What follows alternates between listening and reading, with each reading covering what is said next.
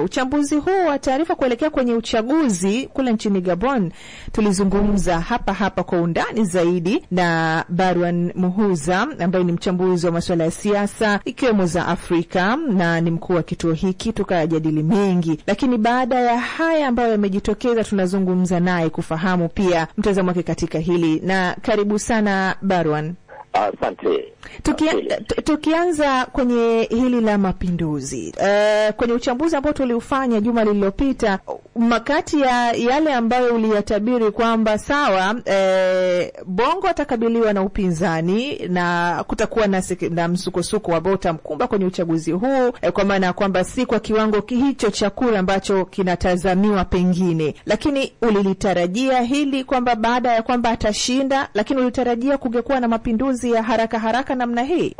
Hapana, uh, swala la mapinduzi sikulifikiria, lakini nili nili, nilisema uh, kama wiki tatu hivi zilizopita wakati wa mgogoro wa kule Niger, Niger mm. Kwenye uchambuzi ule kuna swali niliulizwa, sikumbuki alikuwa ni Madede ama ni wewe ama, ama Mohamed uh, kwenye kwenye mahojiano hivi hivi kwamba uh, sasa hii hali inavyoelekea ni, ni namna gani? Maanake nchi inaonekana kama za Kifaransa zinaelekea kwenye mambo ya mapinduzi. Nikasema nadhani tunakoelekea kutakuwa na mapinduzi, nikayabatiza na jina, nikasema itakuwa sasa baada ya ile uh, iliyotokea kule nchi miaka ya mwanzoni ya elfu mbili iliyotokea ile Arab Spring, mapinduzi yalikuwa yanawang'oa viongozi waliokaa muda mrefu mamlakani huko nchi za Kiarabu kaskazini mwa Afrika na hata kwenye baadhi ya nchi nyingine za Asia za Kiarabu. Nikasema sasa ni mwendo wa kuelekea kuziondoa mamlakani serikali ambazo zinaonekana zina mrengo wa kulalia uh, kwa, kwa, kwa, kwa Ufaransa ambaye ni mtawala wa nchi hizo za Kiafrika. Nikasema itakuja sasa ni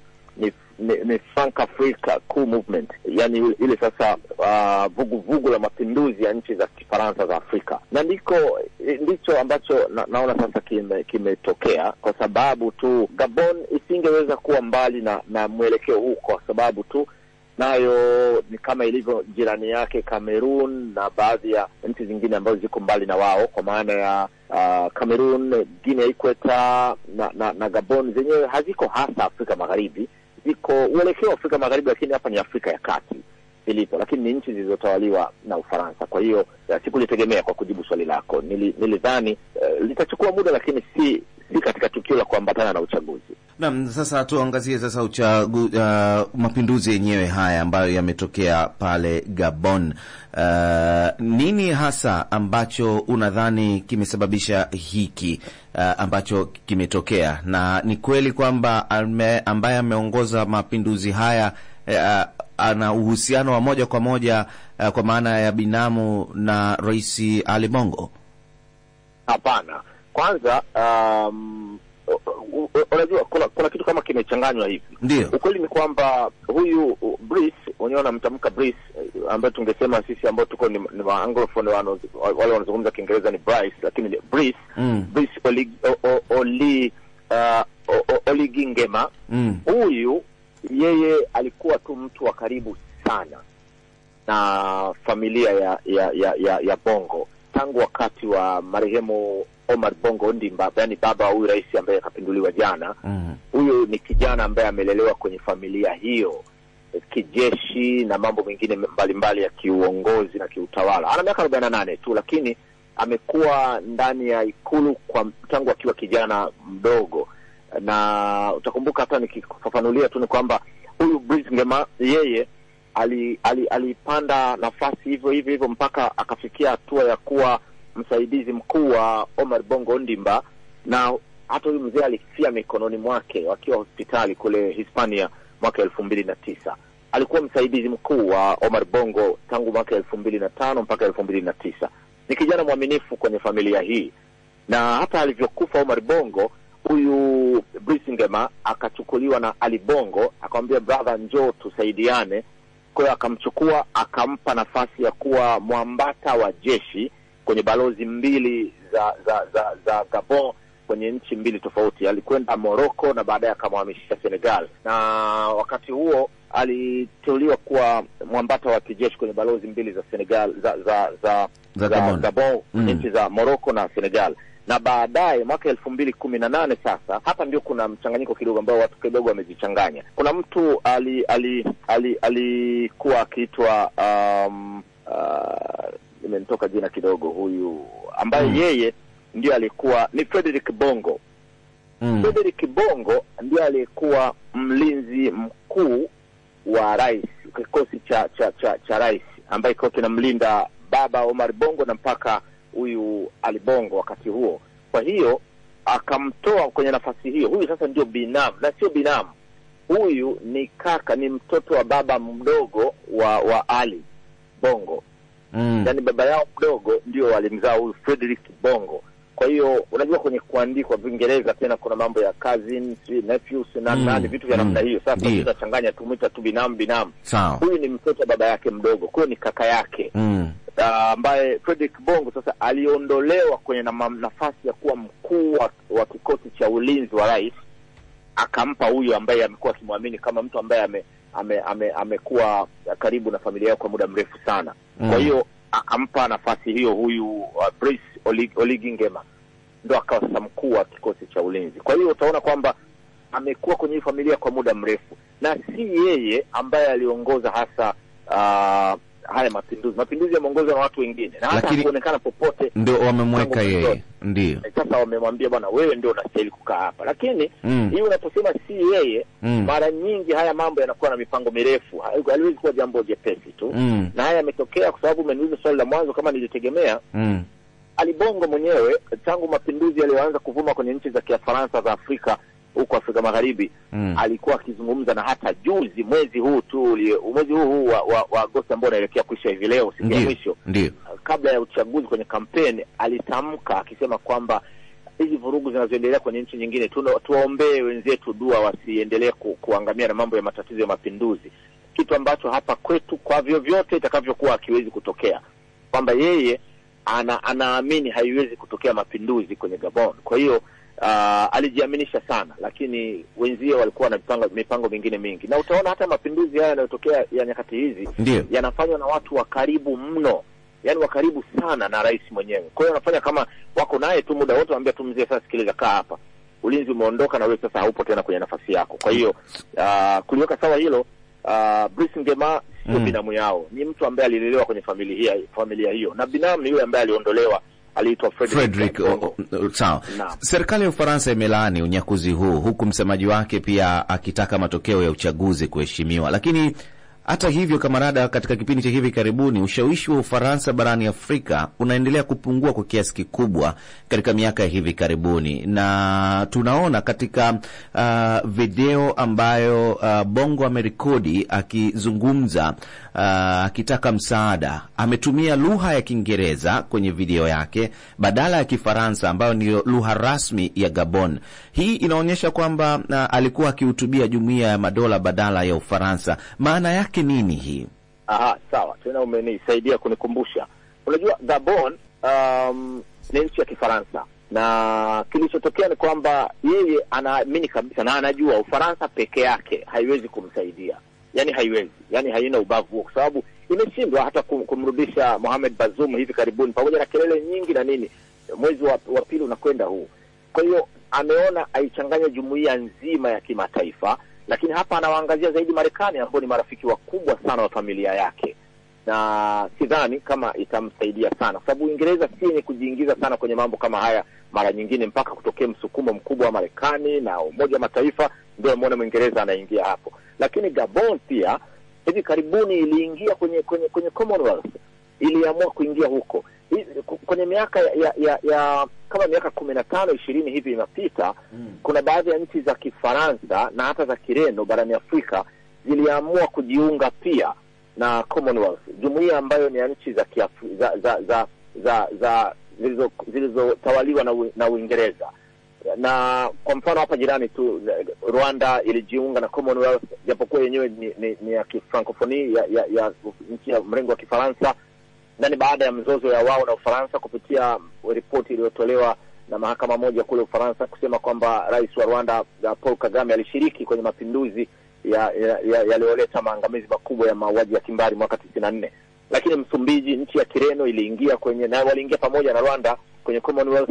hata huko huko nchi za Kifaransa hivi karibuni wameingia Gabon na Togo, hiyo e, hiyo ambayo si jirani hasa, lakini ni maeneo hayo hayo ya Afrika Magharibi hapo ambayo nayo imeingia kwenye Commonwealth. Sasa anawaarifu mapartners wapya, marafiki wapya, ndugu wapya wa, wa Commonwealth nao wajaribu kuona wanaweza wakafanya kitu gani kumrudisha, lakini ile mimi nimemsikiliza vizuri Ali Bongo mm. Sioni ile itamsaidia chochote, na wale wamemfanyia kumcheza shere tu, kumwambia unaweza kawa huru, zungumza. Simu yake ameachiwa nayo na anaendelea na maisha yake kama ilivyo kwa Bazoum pia, na hata huyu jana wamemkabidhi timu yake madaktari wote wamwambia wewe endelea tu, mumkague aishi vizuri hapo, hatuna tabu naye, japokuwa huyu lazima tumpeleke mahakamani kwa ubadhirifu wa mali ya umma na kushindwa kusimamia nchi sawasawa na kuingiza kwenye matatizo makubwa ambayo imeingia.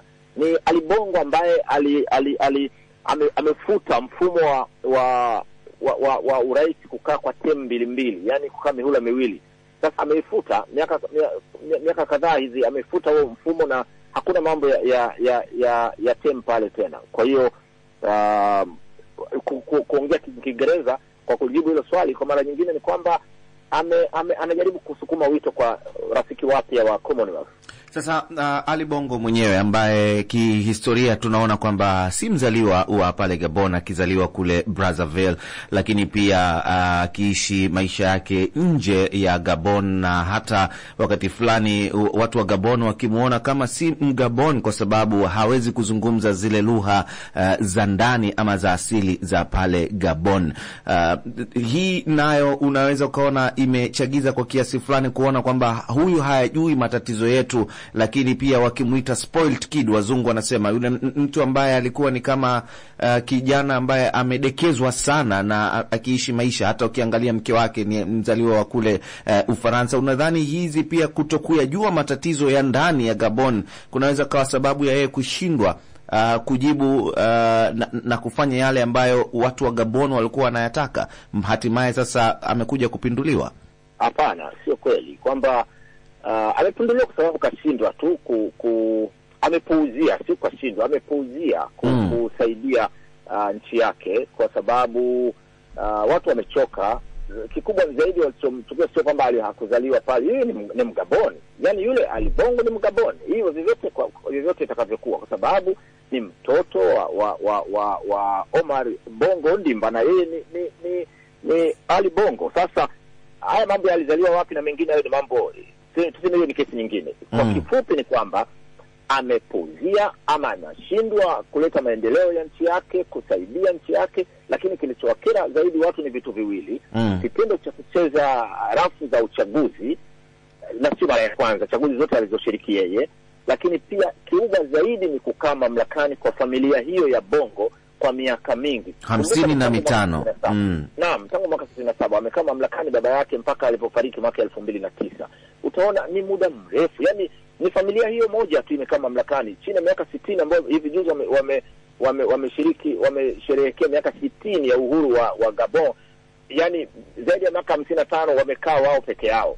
Kwa hiyo wameona sasa inawezekanaje? Kwa hiyo upenyo huu huu wa hii ambayo mimi nimebatiza jina ya kusema ni Frank Africa uh, mm. cool movement, sasa wameona hapa hapa na sisi tupitie, tumng'oe, tutafute namna nyingine ya ku, ya kuweka mwendelezo.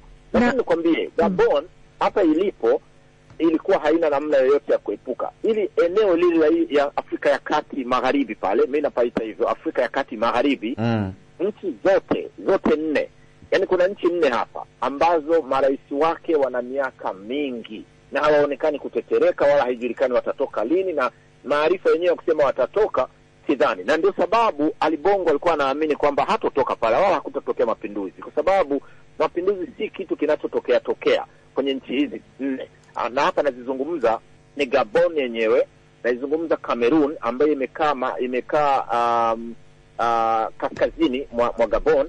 Na hapo hapo kaskazini magharibi kuna Guinea ya Ikweta, halafu jirani mkubwa zaidi mwenye mpaka mkubwa sana kuliko wengine yoyote ni Congo Republic ama niseme Jamhuri ya Congo, hiyo Congo Brazza, ambao hawa wote watatu ambao ndio majirani majirani wa Gabon, wote hawa marais wake wamekaa maishani miaka mingi mamlakani. Nianze na Kameruni ambayo iko kaskazini, ambayo inaongozwa na Paul Biya Mvondo. Huyu mm. kakaa mamlakani tangu mwaka themanini na mbili mpaka leo na ndio rais mwenye umri mkubwa kuliko wengine wote duniani, ana miaka tisini, na amekaa hapo kwa muda wa miaka hiyo tangu mwaka themanini na mbili utaona eh, miaka inakaribia arobaini sasa miaka thelathini na tisa lakini hapo kusini ama, ama mashariki kuna Congo Republic ya Jamhuri ya Congo ya Brazza ambayo inaongozwa na Denis Sassou Nguesso ambaye alikaa mamlakani tangu mwaka sabini na tisa mpaka tisini na mbili na akaondoka akaja akamng'oa kwenye mamlaka Pascal Lissouba mwaka tisini na saba mpaka leo yupo. Sasa hebu angalia hiyo, lakini unamwacha sasa ambaye ndio babu kubwa sasa, ambaye yuko kaskazini magharibi mwa hiyo uh, Gabon, jirani watatu huyu ambaye ni ni, ni Todor Obiang Nguema Mbasongo ambaye amekaa mamlakani tangu mwaka sabini na tisa alipompindua binamu yake. Huyu sasa ndio alimwondoa binamu yake. Sasa nafikiri utakuwa unamkumbuka Francisco Marshal Ngwema ambaye walimuua akakaa mamlakani, yuko tangu sabini na tisa. Hawa ndio viongozi wakubwa wenye umri mrefu hapa barani Afrika, kwa muda mrefu walikaa kwenye nchi nne ambazo zimekaa hapo kwenye hiyo eh, ikweta ya hapo Afrika ya, ya, ya kati magharibi. Hao ndio viongozi vigogo wamekaa mamlakani miaka mingi barani Afrika mpaka leo, wamekaa kwenye kaeneo. Kwa hiyo unaweza kusema ni kagenge hivi ka nchi kadhaa ambazo zime zimejiweka hapo, wamekaa mamlakani. Wao wananchi wao hawastahili wengine kuongoza nchi, ni wao tu. Kwa hiyo Mm. uh, kinachotokea na wasiwasi Mm. kuelekea kwenye kwenye kwenye, kwenye Congo Brazza ambao na wao ni wale wale wa Ufaransa na wenyewe wana maslahi pale, lakini Cameroon sijui, sina hakika, lakini nadhani sasa hii movement inaweza ikasogea kwenye hao majirani wengine. Badran, kwa kukamilisha kamilisha hapa um, sasa ni, tunaweza kusema kwa ujumla wake nini hatma ya Gabon eh, baada ya haya, ya, ya haya yote, lakini pia swala la um, utawala sasa wa kifamilia tunaweza tukasema hivyo wa Bongo, ndo tunasema umefika ndo mwisho wake namna hiyo. Sina wasiwasi hapo. Bongo family ime- ime- imekamilika, yani ime- ime- imefika tamati. Mm. Sioni wakitoboa, kwa maneno ya siku hizi ya watoto wa mjini. sioni wakitoboa ya sioni wakitoboa kwamba hapo alibongo ndo amekwisha. Kwanza pale alipo ni mgonjwa, lakini alikuwa akimwandaa mwanaye ndo aje amrithi, kwa sababu alijua kabisa kwamba hatotoka. Sasa um, ukisema kwamba hali hii ya kijeshi na tunategemea nini itaku, hatima ya, ya, ya, ya Gabon itakuwaje? Mimi majibu yangu ni mepesi, ni mwendo ule ule kama yalivyo hali ilivyo kule Guinea, ilivyo Mali, ilivyo uh, Niger Burkina Faso, Niger na kwingine kokote ambako mapinduzi ya hizi nchi za Frank Afrika yametokea. Ukweli ni kwamba umeona maandamano yamefanyika hata jana, wananchi wamefika mitaani Franceville, huko sijui wapi, miji yote uh, Libreville wa, wa, wanashangilia, wamefurahi. Yani hawa junta ama niseme wanajeshi ambao wamefanya mapinduzi wanashangiliwa, wanasema sasa mmetukomboa. Hii hali inawapa nguvu zaidi wale Wafaransa wa, wa Kiafrika na nchi nyingine hizo ambazo wanaona kinachoendelea sasa, wanajipanga. Kwa hiyo hii ni movement ambayo mimi naamini itaendelea. Si jambo jema, na mimi siungi mapinduzi mkono, lakini nachokisema ni kwamba wajitafakari sasa.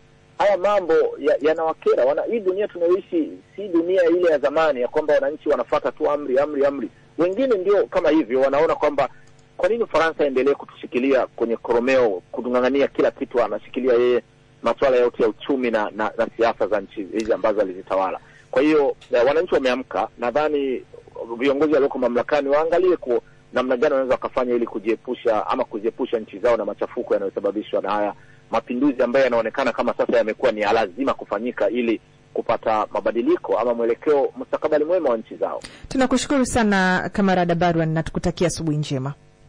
Asante. Ni Barwan Muhuza, mchambuzi wa masuala FM kutoka Tabata, Dar es Salaam, Tanzania. 107.3.